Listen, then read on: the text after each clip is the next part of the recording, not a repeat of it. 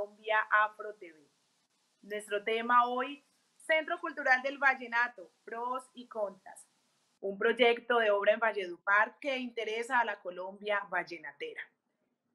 Y nuestros invitados son Efraín Quintero, vicepresidente del Festival de la Leyenda Vallenata, Tomás Darío Gutiérrez, escritor y exdirector de Cultura de Valledupar, y Carlos César Silva, columnista y docente universitarios.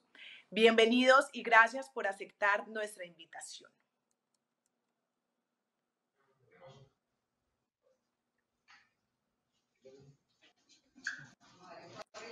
Eh, de verdad, pues muy contento de estar aquí en la revista Colombia Afro TV. Eh, reciban ustedes un vallenatísimo saludo por parte nuestra de la fundación del Festival de la Leyenda Vallenata de nuestra región, de nuestra provincia.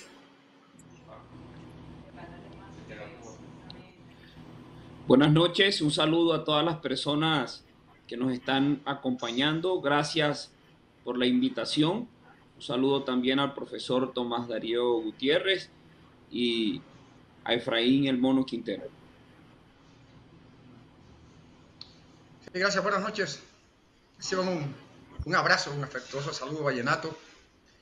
Eh, todos nuestros oyentes, nuestros invitantes, lo mismo que los doctores Carlos Silva y Efraín Quintero. Bueno, muchísimas gracias a ustedes. Les agradecemos respuestas breves para que nos pueda alcanzar el tiempo. Cada uno va a tener de minuto y medio para responder. Ese es el orden en el cual cada uno va a responder. Primero Efraín, luego Tomás Darío y finalizamos con Carlos César.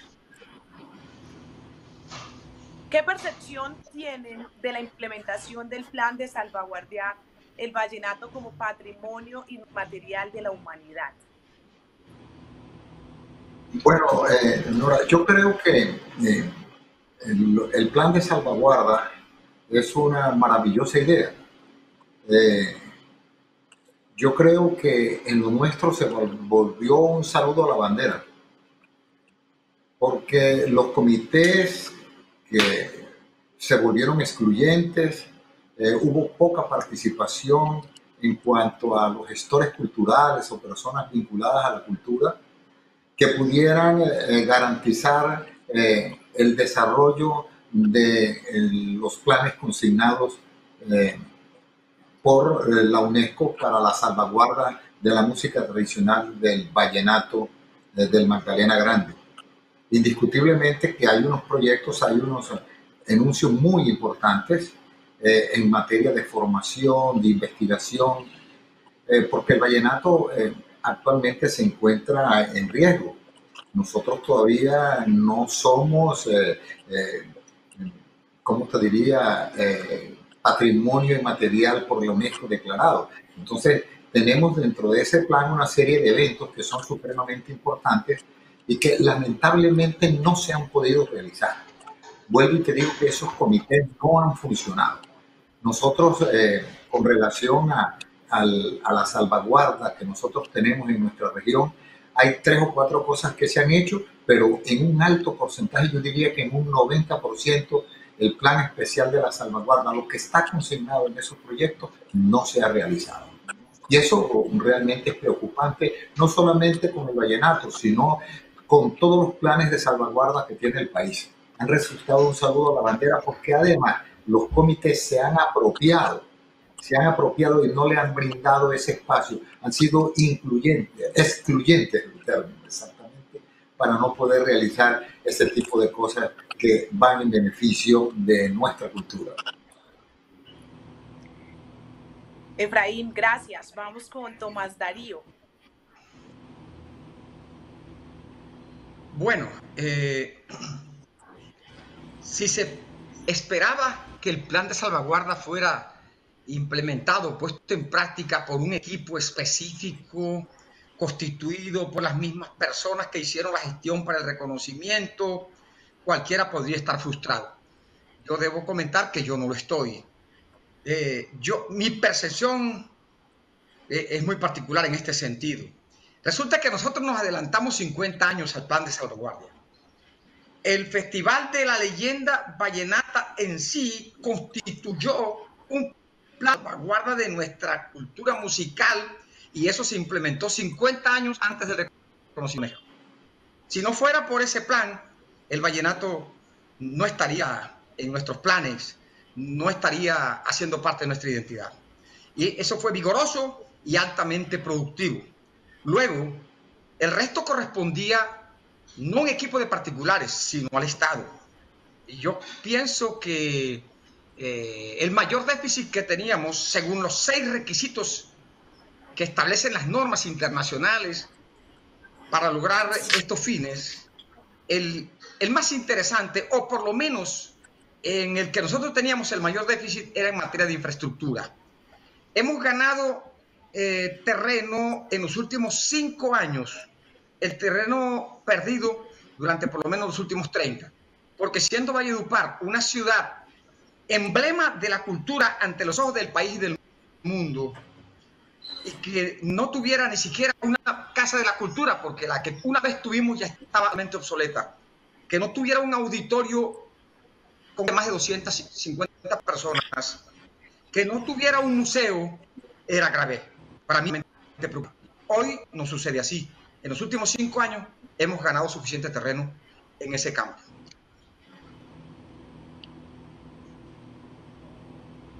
Gracias, Tomás Darío. Finalizamos con Carlos César. Bueno, en principio a mí me parece algo muy importante para el folclore vallenato, al menos desde la parte teórica y del planteamiento. Pero también comparto la preocupación que no se esté desarrollando este plan de una buena forma, que no se esté desarrollando este plan a cabalidad. Pero además, compartiendo lo que han manifestado anteriormente, tanto Efraín como el profesor Tomás Darío, eh, quiero agregar algo, y es que como parte de una nueva generación, también estoy de acuerdo en que el vallenato debe conservar, sí, su esencia, debe conservar la estructura de su narración, la estructura poética, pero debe ir evolucionando en algunos aspectos porque los nuevos tiempos así lo implican. Eso quiere decir que el vallenato debe conservar su origen, debe conservar eh, sus partes fundamentales, pero no negarse a las transformaciones, no negarse a los cambios habituales. Lo que sí no compartimos es que el vallenato eh, se ha utilizado de una forma vana para hacer expresiones que se anteponen a los grandes clásicos como los engendrados por el maestro Escalona o el maestro Leandro Díaz. El proyecto del Centro Cultural Vallenato en Valledupar, con recursos de regalías del Cesar, ¿cómo concilia la salvaguardia del patrimonio con el turismo cultural? Bueno, yo creo que, es importantísimo eh, eh, el Centro de la Cultura del Vallenato, porque indiscutiblemente eh, vamos a tener elementos, como decía Tomás Darío, importantes para mostrar, los museos, la Casa de la Cultura, el Parque de la Leyenda, que deben responder a procesos. Después hablaremos de eso, pero sí me parece interesante que todos estos procesos van a permitir que la gente y el turismo, además de, de, la música, eh, nos metamos nosotros mucho más con el medio ambiente, con nuestro paisaje, con el patrimonio, por ejemplo, gastronómico, el arquitectónico, que conozcan más a fondo nuestra cultura. Y eso nos va a permitir eso. Ahora, ¿cómo mostrarlo? Pues con eh, eventos o con eh, espacios culturales importantes donde la gente empiece a apropiarse de ellos y tengan realmente una respuesta como la que nosotros estamos esperando que se dé aquí en el desarrollo de nuestra tierra.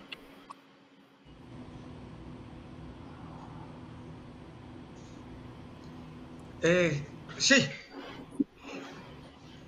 Para mí este, este centro, yo lo asumo de manera casi personal, porque yo sufrí en carne propia la falta de infraestructural que tenía mi amada ciudad tanto que a veces sentíamos cierta vergüenza. Es que no teníamos, hace cuatro o cinco años, cultura. yo lo acabo de decir, y, y me hecho de que tengamos cuatro o cinco auditorios de alrededor de mil eh, sillas que no teníamos, que, que, tengamos una casa de la cultura absolutamente renovada y perfectamente dotada, que tengamos una escuela, tenemos varias escuelas de música, entre ellas eh, la Leonardo Gómez, que tiene, que alberga 1.500 estudiantes, más de 30 profesores de manera absolutamente gratuita. Todo esto, cuando no se le llama, llame así, hace parte de un verdadero, un gran plan de salvaguardia. Y, como que eh, la florecita que le faltaba al ramillete, un centro cultural de esa magnitud. Además de auditorio, tiene uno enorme para casi 1.500 personas, es un museo eh, y es una cantidad de cosas al mismo tiempo. El mono podría explicar, el mono le decimos aquí al doctor Efraín Quintero, eh, él que es arquitecto, con una visión más detallada de lo que este complejo significa para, para la ciudad y para la región. ¿Qué nos resuelve un problema casi moral que, que poseíamos?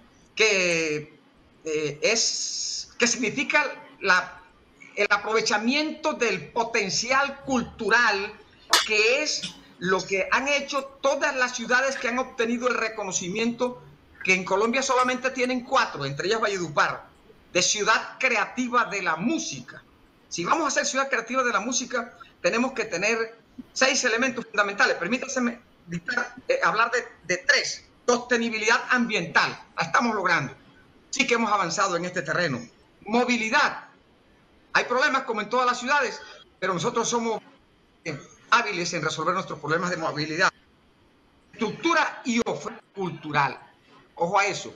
No se puede pretender el desarrollo de la enorme potencialidad cultural que tiene Valledupar mientras no tengamos infraestructura idónea para este tipo de cosas.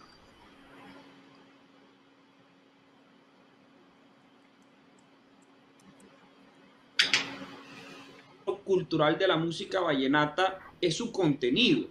Y para nosotros poder hablar acerca de la salvaguarda del folclore de la música vallenata, tenemos que saber a ciencia cierta qué va a haber en ese edificio.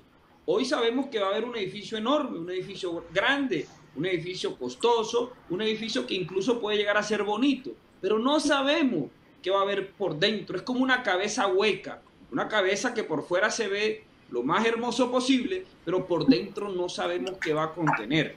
Mí se me ocurre que si a nosotros nos dijeran, no, es que dentro de ese edificio vamos a trasladar con todas las medidas y con el homenaje pertinente el Museo del Acordeón del maestro Beto Murgas, yo me, me, comienzo a hacer una imagen de lo que va a haber allí adentro. Pero es que hoy no nos han dicho nada. Se van a invertir más de 130 mil millones de pesos en esa obra y no sabemos si eso solamente abarca infraestructura o también contenido. Es que la obra no solamente debe abarcar un gran edificio. Lo que lleva por dentro es quizás igual o más costoso porque el contenido de una obra cultural demanda estudio, investigación y además un gasto económico cuantioso.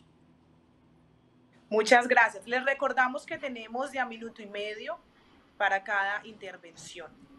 En un plano hipotético e ideal, ¿cómo podrían ser complementarios el Centro Cultural Vallenato, el Parque de la Leyenda Vallenata, y el escenario étnico, folclórico y cultural del Parque Temático Conceptual Alejandro Apá. Durán Díaz, en el municipio del Paso, que ordena la ley de honores a Alejandro Durán, 1860 del 2017. Bueno, eh, yo estoy completamente de acuerdo con Carlos César. Eh, ¿Por qué estoy de acuerdo? Porque todo esto debe responder a unos procesos. Y estos procesos, como resultado, deben dar procesos de formación, de investigación y de proyección social. Aquí, esto que, que me preguntas, debería ser la respuesta de un plan de desarrollo integral de todo el departamento, donde involucren no solamente lo que está sucediendo en, en, en el paso, sino en todos los municipios y en todas las regiones de nuestro departamento. esos planes de desarrollo cultural deben estar insertos y los alcaldes y las personas que nos gobiernan deben tener alto sentido de pertenencia por la cultura, cosa que no ha sucedido, no ha sucedido. Entonces aquí, eh, Carlos, y me refiero a ti, porque eh, sí, aparece el elefante blanco, ¿de qué lo vamos a llenar? Es como cuando se hace el coliseo y no hay jugadores y no hay ligas. Entonces, ya dado esto, nosotros tenemos ya de urgencia que crear los procesos ¿no? de formación, de investigación, de recuperar archivos, de tener nosotros la conciencia clara para poder meter allá y que ese turismo cultural va a venir a inyectar, a educarse, a conocer a fondo la piel de nuestra cultura. Yo creo que esa es la razón más importante. Lo que sucede en El Paso, ojalá pudiera suceder en todos los municipios del departamento del Cesar en toda la provincia, que nosotros estamos hablando un mismo lenguaje, que es el lenguaje vallenato. Hemos comenzado con esos espacios, el Parque de la Leyenda, la Casa de la Cultura, eh, eh, ahora el Centro Cultural, que me parece un sueño de todos. Ya lo tenemos, ahora lo que tenemos es que tratar de buscar la manera de invertir en lo que son en los planos para cumplir verdaderos procesos culturales. Bueno, si se trata de las políticas culturales de un departamento como el nuestro, simbolizado por la cultura desde antes de su nacimiento, puesto que esta era una región que se miraba desde, desde ese ángulo, siempre se miró desde la prehispanidad, y eso pienso yo. El, primer fundador le llamó a la región Valle de Upar. Upar era el rey, el jerarca indígena máximo de una cultura que se extendía desde el río Magdalena hasta el centro de la Guajira, el Valle de Upar. Ese nombre tiene connotación cultural, incuestionable. Y como tal se le llamó fue, por todos los demás conquistadores durante 50 años. luego eh, fue mirada desde ese punto de vista. Ha, habido muchos altos y bajos a través de la historia, pero llegó el siglo XX, eh, volvió a ser capital de un territorio como lo había sido casi una docena de veces en el siglo XIX. Eh, se fomentó el Festival de la Leyenda Vallenata y volvió a reivindicarse como lo que siempre ha sido, el epicentro de una cultura. Ahora, eh, pensar en las infraestructuras culturales de todo el departamento como una organización que se integra. El Parque cultural que se gesta hoy a través de la, de la gobernación, la escuela Leonardo Gómez, eh, la casa en el aire, el parque privado de, de, de Beto Murga, eh, el parque de Vallenata. Bueno, hay muchas, cosas que mencionar que pasamos luego al paso con su evento como escenario, como, como una subcultura integradora de la gran cultura vallenata. Podríamos mencionar también el monumental parque cultural eh, que construyó recientemente el municipio de Becerril. Estamos pensando a nivel regional, a nivel departamental, en el fomento de la cultura, en prepararnos para catapultar nuestros grandes valores culturales. Creo que vamos por buen camino.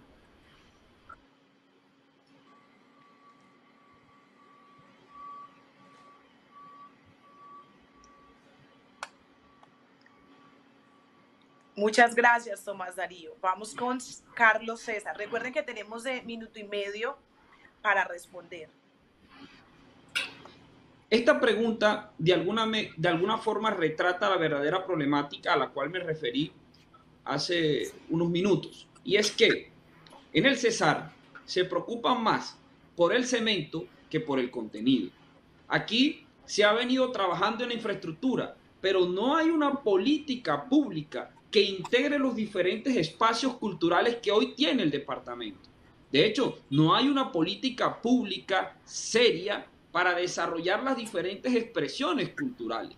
Estamos tan equivocados que todavía seguimos pensando que la cultura en el departamento del Cesar se reduce a la música vallenata y nos olvidamos de expresiones como la tambora en Tamarameque y otras expresiones musicales y culturales y artísticas que hay en la región. Entonces yo creo que la forma de integrar todas estas expresiones, todos estos espacios, es a través de una política pública que hoy no la tenemos. Y comenzar a entender que no bastan los edificios, que no basta el cemento, sino que hay que comenzar a generar unos públicos que permitan el desarrollo de las habilidades artísticas y la salvaguarda de las diferentes expresiones culturales del departamento del Cesar. Muchas gracias. Manteniendo el objetivo del vallenato, ¿de qué otro modo podrían ser invertidos los 139 millones o una parte de ellos? ¿O no tienen observaciones al proyecto? Bueno, los 139 mil millones de pesos ahí fueron concedidos por la, la, regalías, que más o menos es el 35% del dinero que maneja el departamento, el otro 65% es de gestión. Yo eh, diría, eh, Carlos y Tomás, eh, se invirtió en el cemento, ahora tenemos nosotros ya, teniendo ese espacio, que me parece importantísimo, empezar a construir una política pública y gastarnos ese mismo dinero haciendo gestión, no solamente con el 35% de ella, sino con el 65%, que la mayoría de ese dinero regresa nuevamente por falta de gestión de nuestros funcionarios. Entonces, si nosotros hablamos de emprendimiento y de actividades culturales que se puedan desarrollar, vuelvo y digo, es importante que esa política pública cultural tenga una base en un plan de desarrollo. Ese plan de desarrollo cultural tiene que ser con aquiescencia de los alcaldes, con aquiescencia del gobernador, para que pueda funcionar. Y el mismo ministerio, dentro de esos procesos, se, o se originen unos verdaderos resultados porque es que nosotros estamos viendo que los resultados no se están dando, Carlos. Eh, Tomás, no se están dando. En los procesos que nosotros llevamos quedan cortos. ¿Por qué? Porque no hay un plan de acción, no hay un seguimiento que nos permita a nosotros llegar a unos objetivos precisos en todas las áreas de la cultura. Y yo quisiera hacer un aporte para regresarme a la primera, a la primera pregunta. Es más, se ha hecho más por fuera del plan de salvaguarda de lo que anunciaron en, los comités. Por ejemplo, la Universidad Popular del Cesar, nosotros creamos la Escuela de Bellas Artes de Música con una plataforma única y exclusivamente basada en la música y en la, música vallenata. Eh, hemos hecho cosas. La fundación del festival ha hecho una proyección social con niños pobres de más de 1.600 pelados hoy en día están gozando de otra cosa. Entonces, para mí eso es supremamente importante, que todas esas instituciones han hecho y seguirán creciendo, pero necesitamos, Carlos, de verdad, y Tomás, una verdadera política pública, cultural, para poder gozar de esos espacios. Bueno, eh, invertirlo en otras cosas o pensar que eh, se cometió un error en la inversión, yo no creo. Al, contrario, yo creo que nos estamos poniendo a paz y salvo con, la necesidad de inversión cultural, porque era que invertíamos en todo, pero menos en la cultura. Yo no olvido nunca una frase que le escuché a un secretario de Hacienda en un consejo de gobierno departamental hace 15, 20 años, cuando decía que las cuestiones culturales eran y que todo lo que no produjera había que eliminarlo. Es un adefesio que dijo ese señor. Yo necesariamente protesté. Pero se invertía en casi todo, pero menos en la cultura. Apenas ahora estamos eh, eh, creando conciencia de que hay que invertir en infraestructura cultural porque estábamos casi en cero. Entonces, políticas culturales, claro que hay, están trazadas desde el nivel nacional. La, legislación cultural hoy, en comparación con la, que hace, la de hace 20 años, es fenomenal. Cada municipio debe tener un consejo municipal de cultura, un comité de contribución para fiscal, unos BIP como, como se crearon en el municipio de Valledupar, un recurso mensual para gestores de la cultura. El primer municipio de Colombia que los creó, a pesar de que la ley lo había autorizado 20 años antes, fue el municipio de Valledupar. Los beneficios económicos periódicos cerca de 200 gestores culturales del municipio de Valledupar reciben un pequeño auxilio de 250 mil pesos mensuales, que a veces es mucho para esa gente que no, tiene con qué comer o con qué comprar los insumos para su producción artesanal, por ejemplo, como sucede con los atanqueros.